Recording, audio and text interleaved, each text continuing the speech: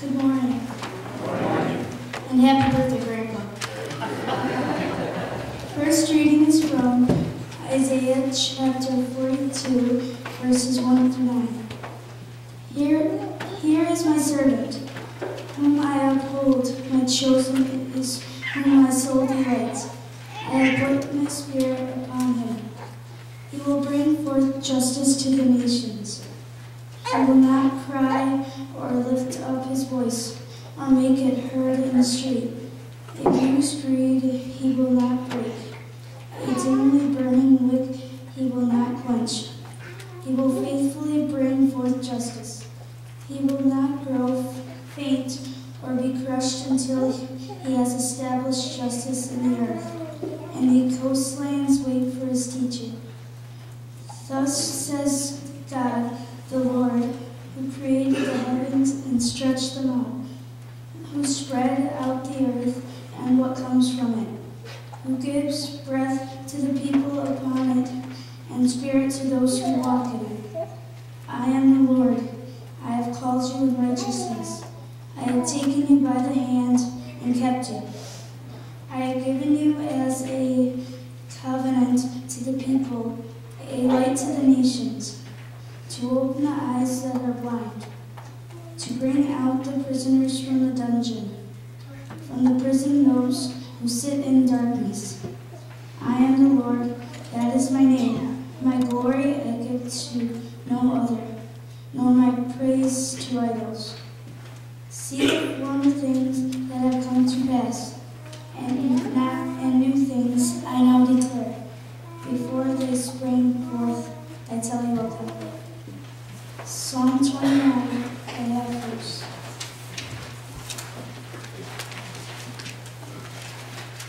Ascribe to the Lord the gods. Ascribe to the Lord glory and strength. Ascribe to the Lord the glory due God's name.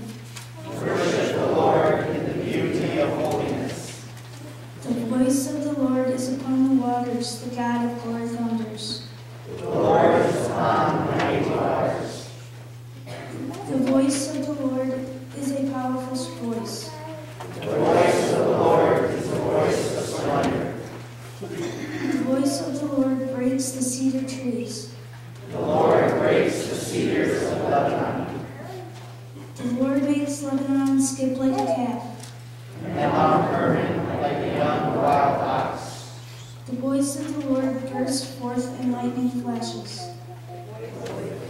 Oh, whoops. the voice of the Lord shakes the wilderness. The Lord shakes the wilderness of Kadesh. The voice of the Lord makes the oak trees writhe and strips the forest bare. And in the temple of the Lord all are crying for glory. The Lord sits enthroned above the flood. The Lord sits enthroned as king forevermore. O Lord, give strength to your people. Give them, O Lord, the blessings of peace. Second reading is from Acts chapter 10, verses 34 through 43. Then Peter began to speak to them. I truly understand that God shows no partiality, but in every nation, a- anyone who fears him and does what is right is acceptable to him. You know the message he sent to the people of Israel preaching peace by Jesus Christ, who is Lord of all. That message spread throughout Judea, beginning in Galilee after the baptism that John announced. How God anointed Jesus of Nazareth, the Holy Spirit and with power. How he, he went about doing good and healing all who are oppressed by the devil, for God was with them. We are witness to all that he did both in Judea and in Jerusalem. They put him to death by hanging him on a tree, but God raised him on the third day and allowed him to appear, not to all the people, but to us who were chosen by God as witnesses, and to eat and drink with him after he rose from the dead. He commanded us to preach to the people and to testify that he is one ordained by God as judge of the living and the dead. All the prophets testify about him that everyone who believes in him receives forgiveness of sins through his name. Will you please rise for the reading of the gospel? Our gospel this morning comes from the third chapter of Matthew, beginning with the 13th verse. Then Jesus came from Galilee to John the Jordan to be baptized by him. John would have prevented him, saying, I need to be baptized by you, and do you come to me? But Jesus answered him, Let it be so now, for it is proper for us in this way to fulfill all righteousness. Then he consented. And when Jesus had been baptized, just as he came up from the water, suddenly the heavens were opened to him, and he saw the Spirit of God descending like a dove and alighting on him. And a voice from heaven said, This is my Son, the beloved, with whom I am well pleased. This is the gospel of the Lord. You may be seated.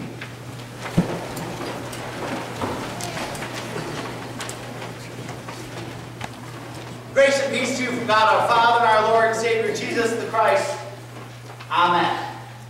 You know, I have a theory that no matter what a person's name is, even with all the care that's often taken when a child is named, that there is some way that that child's name can be used to make fun of them.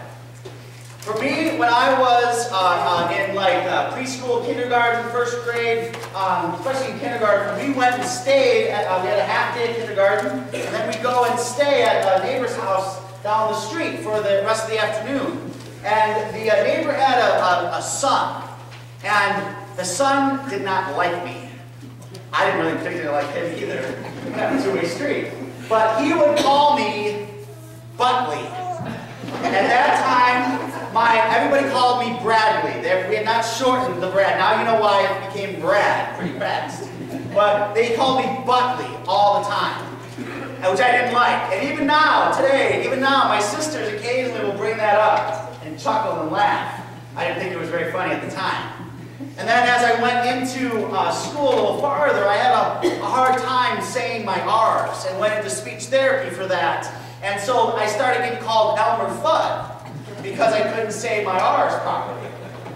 And you know, now that I've gotten older, I'm sure I get called much worse names than some of those things. But you know what I'm talking about, don't you? Maybe some of you were called hurtful names in school, whether you were younger or older. Maybe you've been called not so nice names, not. Those kinds of things sting us, and, and they often stay with us for, for a long period of time. Whether we've been called a jerk, or ugly, or fatso, or weirdo, or a thousand other terms. Those things just, they kind of sting. Because unfortunately what happens, I think, for some of us is that we get called those names over and over again, our identity gets wrapped up in it. We start to see ourselves by that name rather than the name we've been given. You know, identity is important because identity often denotes relationship. And here in our gospel reading for today, we see Jesus come to the River Jordan to be baptized by John.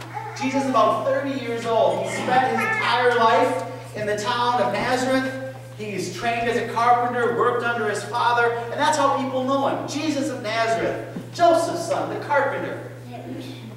But when he gets to the River Jordan to be baptized by John, he doesn't need a baptism of repentance, which John is doing for everyone else gathered there. Jesus is sinless.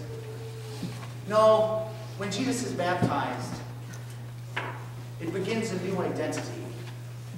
Because as Jesus rises out of the water, a voice from heaven says, This is my Son, the beloved, with whom I'm well pleased. Jesus been given an identity as the Son of God. And publicly, in front of all those gathered there who heard that voice, know that this Jesus is no longer Jesus of Nazareth, no longer Jesus the carpenter, but it's Jesus He who will be a prophet, he who will be a Messiah for the world. You You know, we, when we come to the waters of baptism, when we came as babies, we too were given an identity as a child of God. That's why often in many traditions, when they come to baptism, that the baptized is given a new name to denote the new relationship, the new identity they've been given as a child of God, sealed by the Holy Spirit and marked with the cross of Christ forever. Yet so often as we go through the years, we forget that we've been named and claimed by God in those waters.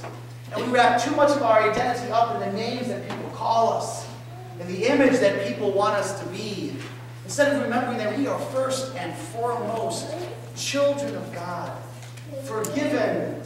sinners, that we are wrapped in the promises and love of God, and that is the greatest identity that we have. But so often it's the last that we think of and the last that we hold on to. Because no matter how many names people may call us, no matter how many barbs people may throw at us, God looks upon us as his precious child and loves us no matter what. No matter the mistakes that we've made, no matter what anyone else thinks of us, God looks upon us as that loving parent who loves us no matter what for all time. God looks upon us and sends us his son, his beloved, to show us that we're beloved, that we're important, that we are not alone. Brothers and sisters, you are children of God. And because of that, your identity is wrapped up in a God who cares and loves you no matter what. You are children of God, and that means that God has a relationship with you. God cares about you each and every single day, every moment of every day. Your joys, your sorrows, your successes, your failures. And God is there to bring you life and light and forgiveness and salvation His name. So no matter what they might call you, whether it's ugly, or jerk, or nerd, or buckley, most importantly, you are called a child of God, saved and redeemed by the Messiah and beloved, Jesus Christ. And that's the most important identity you need in life. For that, we can say thanks be to God. Amen.